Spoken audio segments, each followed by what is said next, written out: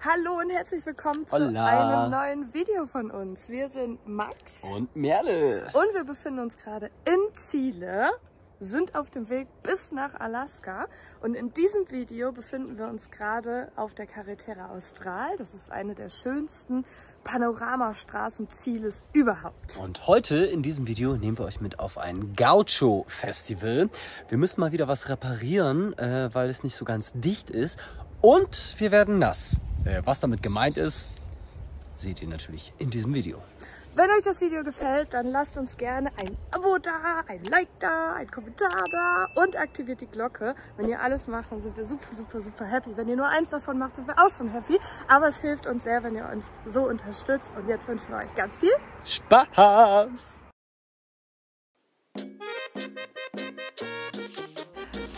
Und da sind wir auch schon auf dem Gaucho Festival in Cochrane. Ein Gaucho hier in Südamerika ist vergleichbar mit einem nordamerikanischen Cowboy. Zusammen mit unseren Freunden Laura und Pietro von den Lost Donkeys und Livia und Juval von Roadfox durften wir etwas tiefer in die Kultur der Gauchos einsteigen. Nach einem leckeren Asado-Grillteller für Pietro und Juval und selbstgemachtem Bier für Merle und mich ging es direkt zur Gaucho-Pferdepräsentation.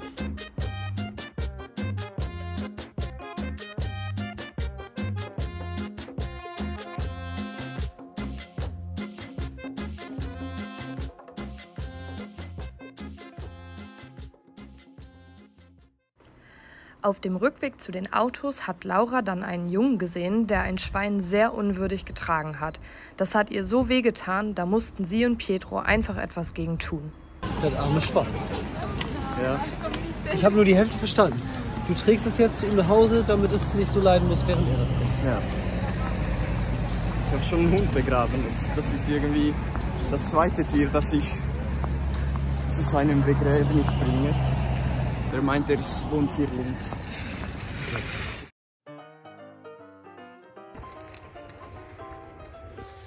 Geht das Schloss nicht mehr auf. Kann wieder gefettet werden.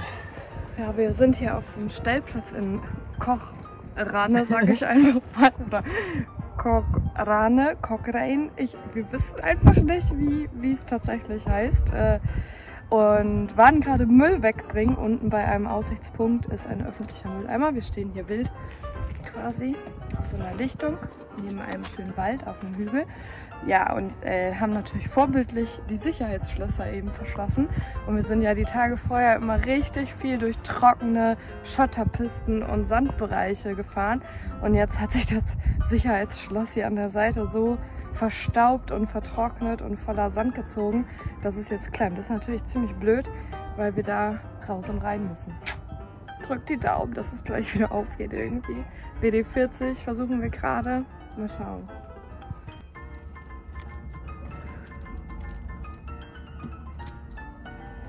Ja, Zange, ne? Hm. Also ich dachte mit mehr Gefühl oder so, aber Ja, ja, ja. Gefühl hilft da nicht. Rohe Gewalt muss her, glaube ich.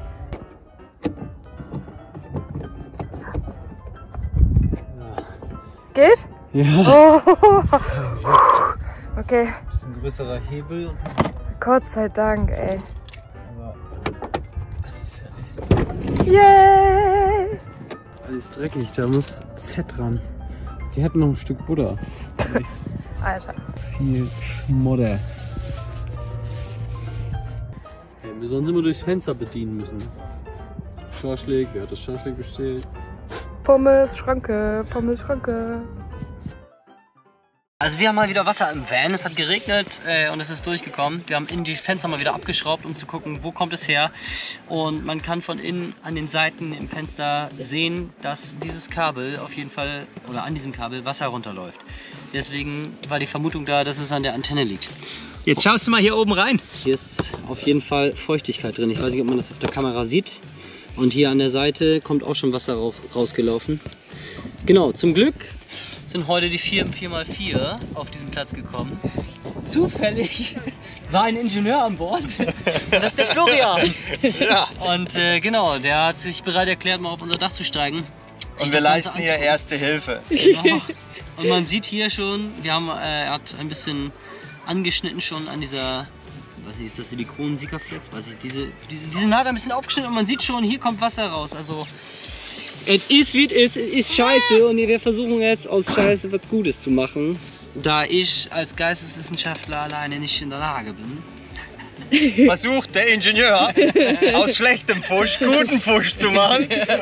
Und wir schauen mal, dass die Jungs und Mädels hier wieder trocken schlafen können. Und wenn es heil ist, kriegt ihr auch ein Bier dann. So, ma- so machen wir das.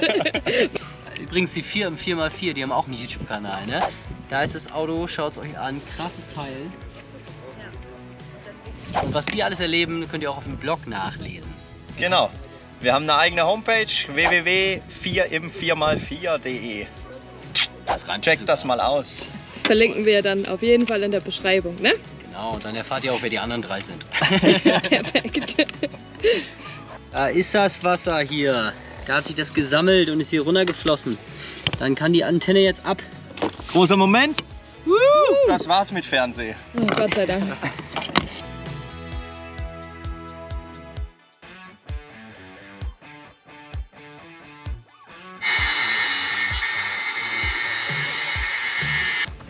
So, jetzt wird das passende Metallstück zugeflext. Makita-Gerät, oh herrlich. Genau, ich habe jetzt das Loch hier frei gemacht. Ein sehr großes Loch für sehr wenig Kabel, wie man ja sagen muss. Und da kommt jetzt eine schöne Metallplatte rüber. Aber erstmal müssen wir das schön ein bisschen trocken machen. Jo, mehr geht nicht mehr. Nicht schön, aber selten. So, meine Damen und Herren, jetzt wird angeraut, sonst wird die Klebung nichts. Wenn ich das wiederhole, dann wirklich richtig kompetent. Ja, ja, genau. Also wir versuchen jetzt hier eine vernünftige Klebung zu pfuschen. Heißt, wir machen den restlichen Kleber weg mit äh, unserer Flex. Und dann haben wir sogar ein bisschen Primer dabei und wir haben irgendwie einen Polymerkleber dabei und dann kleben wir dieses schicke Stück Aluminium da drauf. So, wenn ich jetzt live quasi abrutsche und noch hier die Plastikhaube kaputt mache mit der Flex, dann Nee, dann- kommt hier Stimmung auf.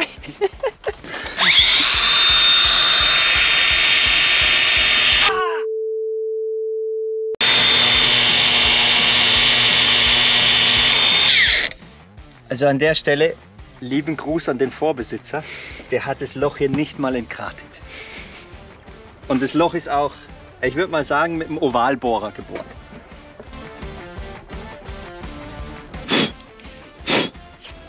Das muss gut sein so. Ja, wir haben die letzten zwei Jahre das Ding aufgebaut und äh, wir haben da viel gelernt und vor allem haben wir gelernt, wie man es nicht macht. Und äh, unsere Schlauheit war jetzt, oder ein kleiner Tipp am Rande, wir machen zuerst sauber, bevor wir anschleifen, schleifen dann an und machen wieder sauber. Weil wenn du hier nämlich so Fettrückstände und so einen Scheiß auf dem Blech hast und du schmiergelst dann, dann hast du die so tief in die Poren reingeschmirgelt, dass du es nicht mehr gescheit rauskriegst. Ähm, wir wissen nicht genau, ob es richtig ist, aber wir haben damit zumindest die beste Erfahrung gemacht. Und lieber einmal zu viel sauber gemacht, wie einmal zu wenig sauber gemacht. So, das schreiben wir uns hinter die Ohren.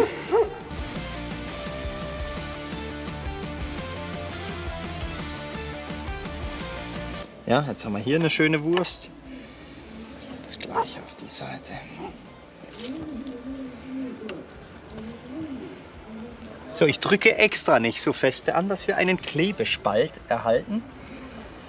Und ja, jetzt ziehen wir das einmal mit dem Finger so ein bisschen ab.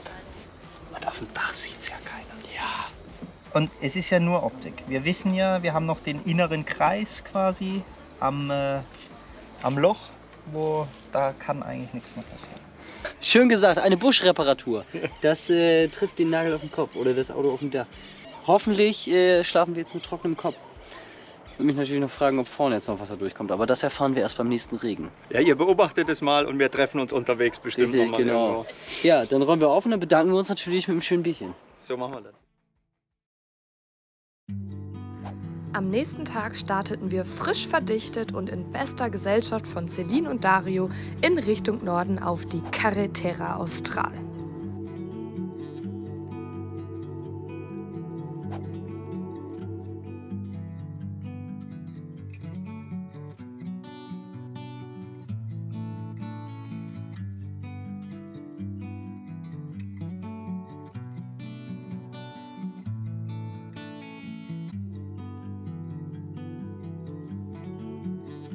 Wir fahren mal wieder zu dritt in Captain Knut oder sogar zu viert, um ehrlich zu sein. Petro hat was gefragt. Petro, was ist es? Nee, Forelle. Und bereitest du die dann heute Abend noch frisch zu? Ja, mit Hilfe von Yuval. Und dann gibt's wohl Fisch. Also für mich ja nicht, ich bin ja kein Fischfan, aber Sushi. da gucken wir gerne zu. Sushi gibt's auch.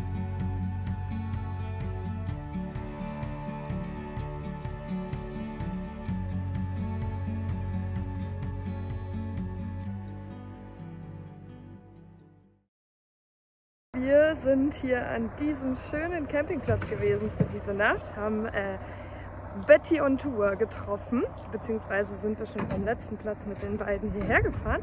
Und da vorne ist das Häuschen gewesen. Da saßen wir gestern auch mit den Lost Donkeys und mit Road Fox noch zusammen. Es war richtig schön.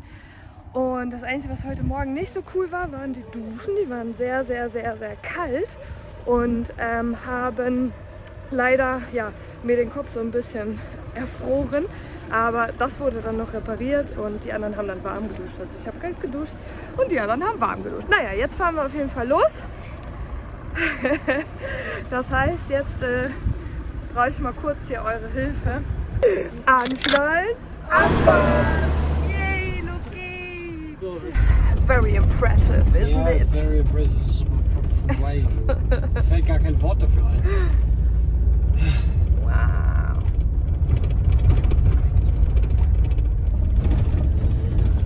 So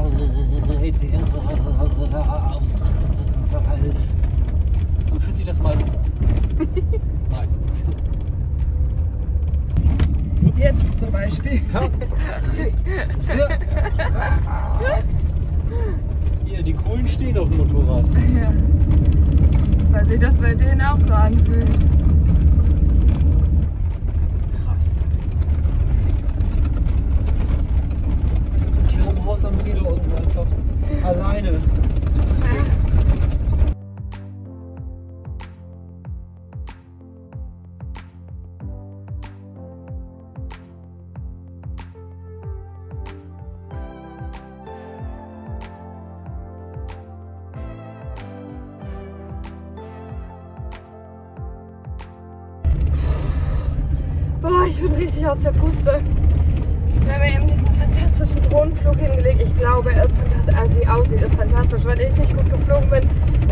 Schlimm, aber die Aussicht ist super.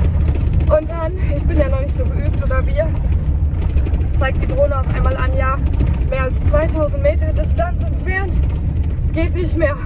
Und dann wollte ich versuchen, näher ranzufliegen. Hat nicht mehr funktioniert. Ich konnte nur noch nach links und rechts steuern.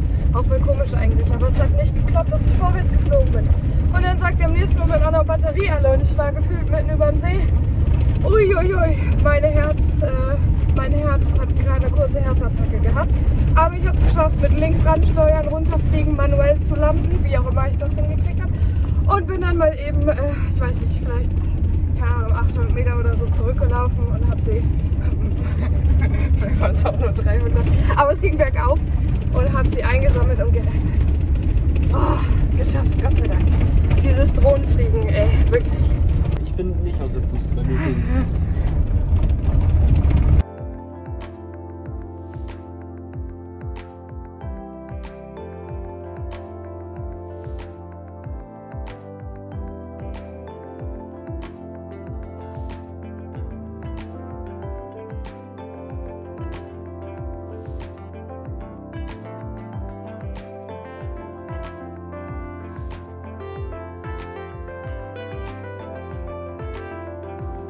Dieser wahnsinnig schönen Landschaft konnten wir einfach nicht anders und holten das erste Mal auf dieser Reise unser Stand-Up-Paddleboard raus.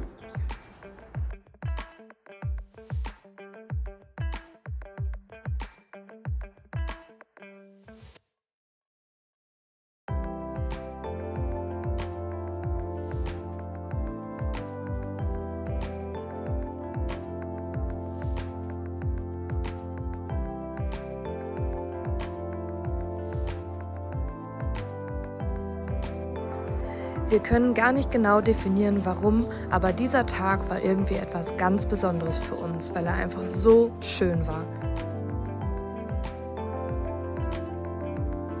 Vielen Dank, liebe Bettys, dass wir ihn mit euch verbringen durften.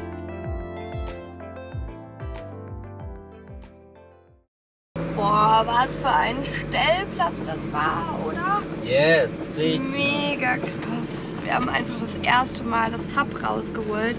Ich meine, bei dem Wasser kann man auch nicht anders. Awesome. Jetzt geht es auf jeden Fall weiter, weil wir wollen mit Celine und Dario eine Kajaktour zu Marmorhöhlen machen hier in Chile. Das ist äh, eine ganz besondere Sehenswürdigkeit auf der Carretera Austral, auf der wir uns ja gerade befinden. Und dann wollen wir den Tag danach auch noch eine Gletscherwanderung machen. Da freuen wir uns auch schon mega drauf. Auch mit den beiden zusammen. Deswegen sind wir jetzt noch eine Weile auf jeden Fall zusammen unterwegs.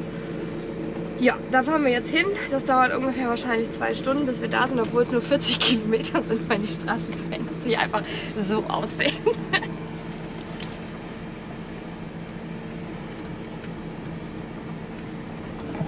meine, wir wollen uns nicht beschweren, es ist wirklich immer eine richtig, richtig coole Aussicht auf dieser Straße. Aber es ist schon oft nicht so einfach, die zu fahren und das Auto wird auf jeden Fall von außen gut beansprucht. Mega zerkratzt, man hört die Bäume hier die ganze Zeit am, äh, an der Außenseite. Und ja, Schlaglöcher sind auf jeden Fall keine Seltenheit. Straße. wenn hier auch noch Schlaglöcher wären, das wäre Das wäre auch was, ne? Das geht Aber die jetzt kommen eigentlich. gleich erst. Ja, die kommen gleich. Das hier ist so ein Nebenweg, wo wir jetzt ja, diesen wundervollen Stellplatz einfach hatten. Wir nennen es den San Francisco Platz. ja. Warum? Habt ihr bestimmt schon gesehen. Ansonsten hier nochmal.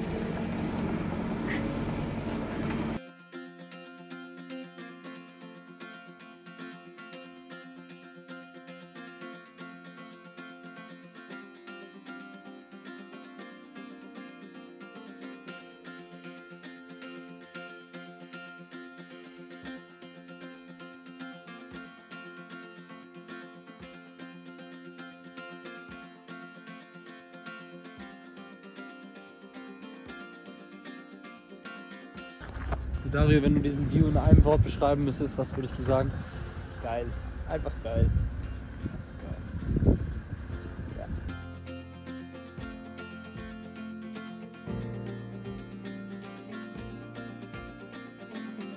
So, auf dem Weg, um die Kajaktour zu buchen, sind die Bettys schon vorgefahren. Wir haben Knut lieber oben stehen lassen, weil wir nicht so ganz so sicher waren, ob der das packt. Dann wollten wir lieber laufen. Und jetzt laufen wir schon eine ganze Weile. 1,2 Kilometer steil bergab.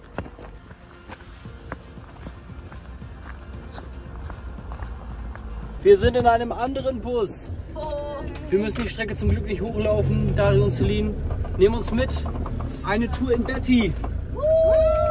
Yes! Und die 4 im 4x4 sind auch da.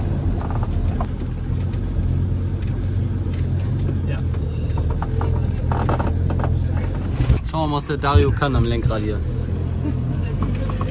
Wir alle gespannt.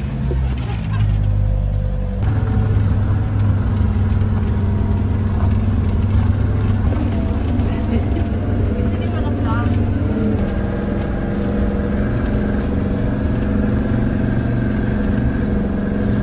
Ja, vielen Dank fürs Mitnehmen, ne? Ja, kein Problem.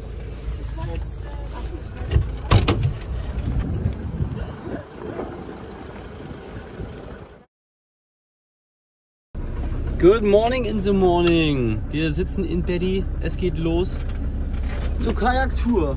Juhu. Und was sagt man da? Einstellen. Abfahrt.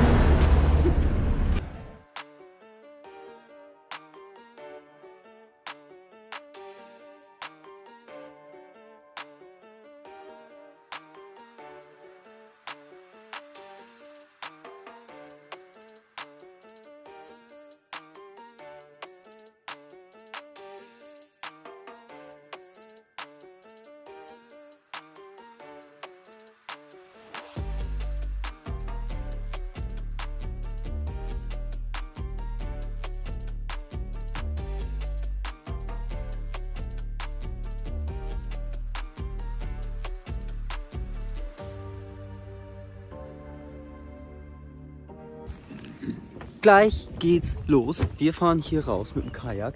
Da werden schon die Kajaks vorbereitet für uns. Wir sind zu viert plus Guide. Kamera ist am Start. Kentersack ist auch gepackt mit Wasser und äh,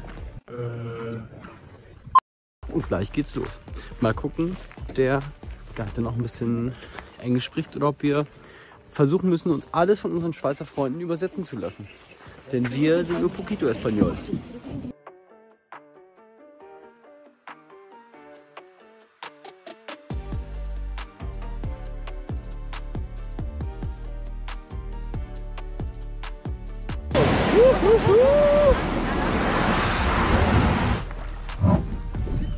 Tschüss!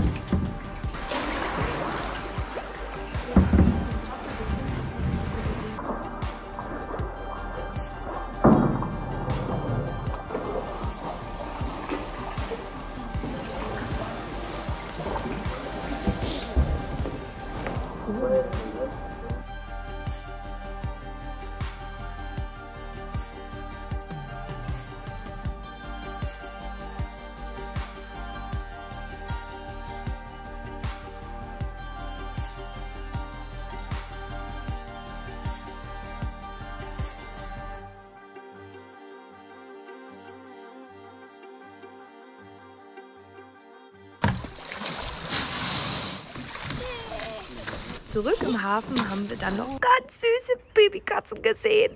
Die rote ist mega herzig, die Fliege, die dort. Ja, Mama, du auch. Ja, du auch. Ja, auch lieb. Wie hat es euch gefallen? Es war mega cool. Und Dario? Auch. Was für ein Panorama, Leute. Wahnsinnig schön. Polizei ist auch da. Äh, ja, und wir machen heute Dachfenster. Es ist ja immer noch Regen durchgekommen und die 4 im 4x4 stehen hier neben uns und äh, Flo ist Ingenieur und er hat gefragt, wie ist das denn eigentlich mit dem Fenster? Ist das jetzt dicht oder sollen wir uns nochmal angucken? Jetzt haben wir es uns nochmal angeguckt und wie ihr seht, wir haben es tatsächlich abgeschraubt einmal. Unten waren alle Schraubenlöcher waren verrostet. Haben jetzt alles sauber gemacht, Rost weggemacht, gereinigt, angeschmögelt, Aceton drauf. Ähm, ähnlich mit dem Fenster äh, von innen hier auch alles an Gummi und so weiter ab. Die Antenne hatten wir letztes Mal schon abgenommen, da kam nämlich auch Wasser durch. Und jetzt wird alles neu verklebt und da ist er schon. Ohne ihn äh, wären wir wahrscheinlich mit kleineren Löchern noch unterwegs. genau, und jetzt äh, probieren wir das neu einzukleben und hoffen, dass es funktioniert. Wie ihr seht, haben wir hier schon alles ja, vorbereitet. Und jetzt sind wir gespannt, ob, ob, das restliche Sika, was ich noch habe, reicht. Ja, ich habe gerade mal geschaut, ich habe auch noch eine Backup-Kartusche. Wir haben leider nicht genau den richtigen Kleber dabei, aber wir haben Primer dabei, den machen wir jetzt auf den Kunststoff und dann gibt es eigentlich nichts, was MS Polymer nicht kann. Schauen wir mal.